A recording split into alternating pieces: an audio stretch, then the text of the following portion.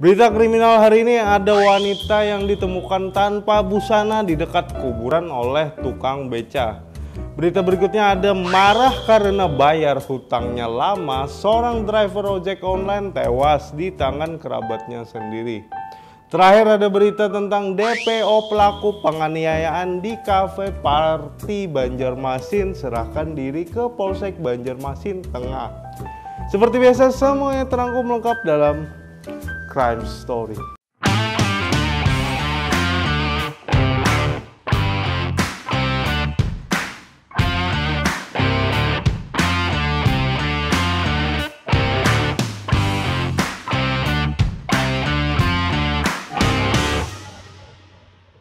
Halo Sobat Vipos, berjumpa lagi dalam konten yang akan mengulas peristiwa kriminal secara eksklusif dan up to date. Masih bersama saya Papa Roka, langsung saja kita ke berita pertama. Seorang wanita yang menjadi korban ruda paksa ditemukan oleh tukang beca yang sedang melintas.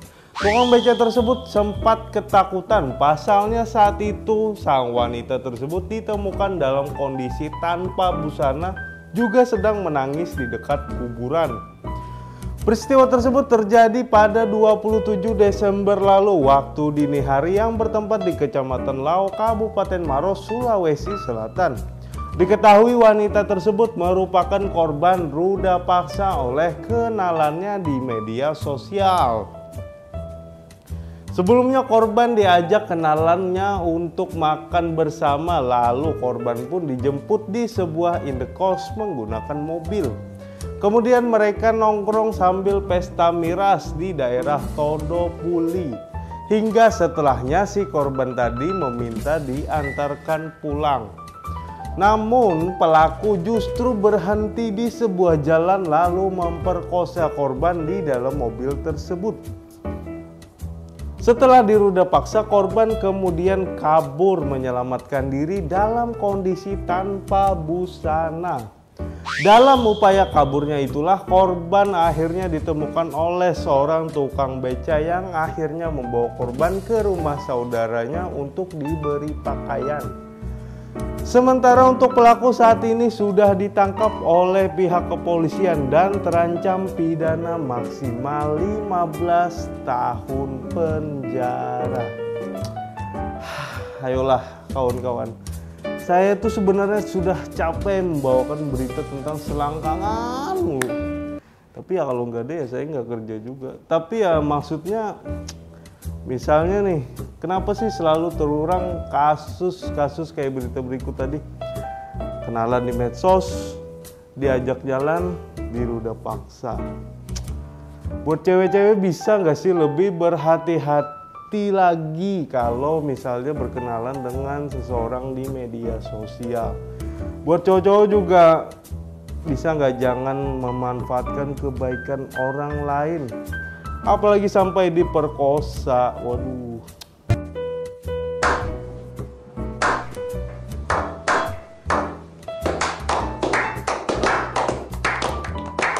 Dikutip dari Tribun Timur, korban ditemukan tanpa busana di Kecamatan Lau, Kabupaten Maros, Sulawesi Selatan pada Senin 27 Desember 2021 dini hari.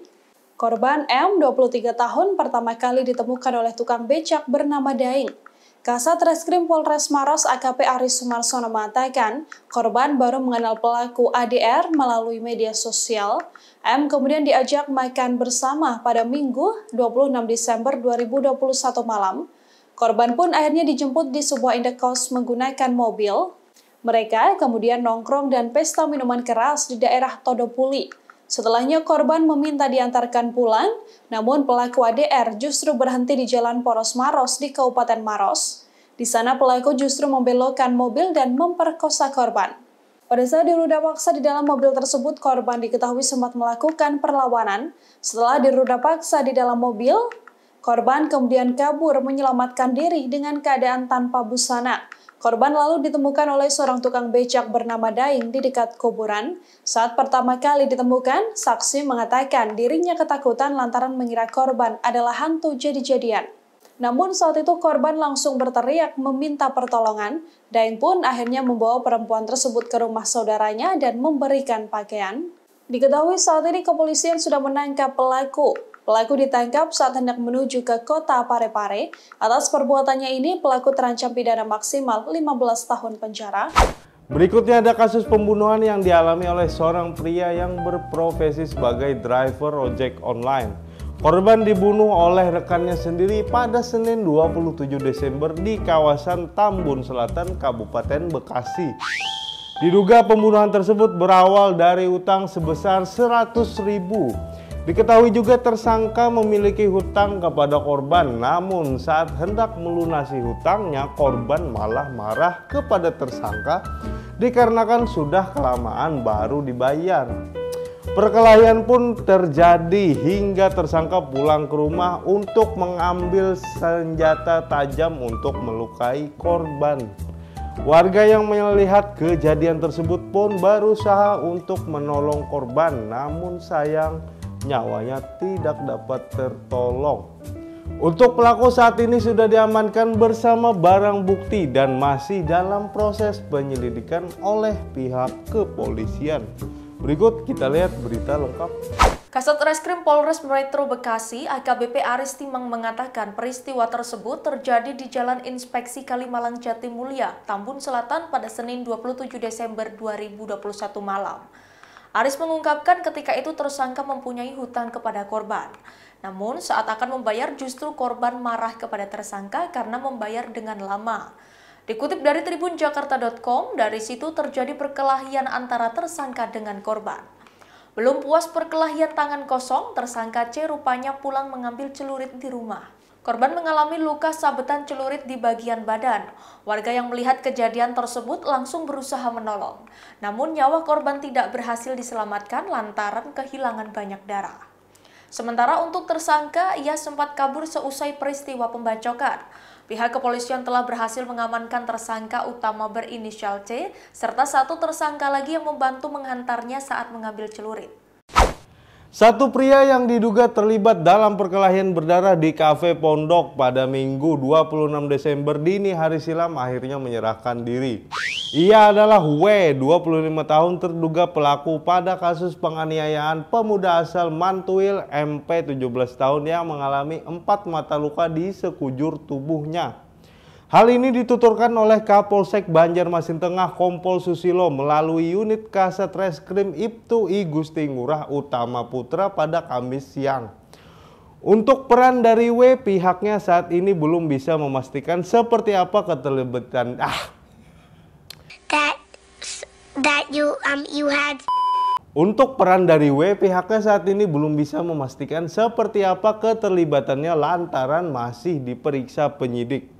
Karena berdasarkan keterangan saksi, pada malam itu sosok W turut terlihat bersama dengan para terduga pelaku lainnya yakni MR 16 tahun, MS 22 tahun, MRA 17 tahun, dan seorang saksi yakni MA 16 tahun pada malam kejadian. Sebelumnya tim gabungan berhasil mengamankan keempatnya di kediamannya masing-masing di kawasan Jalan Kuin Selatan, Banjarmasin Barat pada Senin 27 Desember malam. Dari hasil pemeriksaan tersebut muncul fakta-fakta baru bagi korban dan juga pelaku. Sehubungan di malam tersebut ada dua kasus berbeda dan ada dua korban yang berbeda pula. Maka pasal yang mengancam terduga pelaku pun ini tidak sama. MS terancam pasal 80 ayat 2 Undang-Undang KUHP nomor 35 tentang perlindungan anak lantaran menusuk korbannya ML yang berusia 17 tahun warga Jalan Tebus Mantuil. Tepatnya di Mes PT Buana 5 Sejurus Kelurahan Kelayan Selatan, Banjarmasin Selatan. Sedangkan satu terduga lainnya rekan MS yakni MRA kemungkinan akan diversi karena statusnya yang masih di bawah umur. Berbeda dengan MR, pelaku tunggal lainnya yang berurusan dengan korbannya yang bernama Sugiono berumur 31 tahun warga Jalan HKSN Alalak Utara terancam pasal 351 KUHP tentang penganiayaan. Dikarenakan Sugiono mendapatkan satu mata luka tusukan akibat cekcok dengan pelaku MR. Terima kasih sudah menonton video ini. Jangan lupa like, comment, share, dan subscribe channel ini biar tidak ketinggalan video-video menarik lainnya.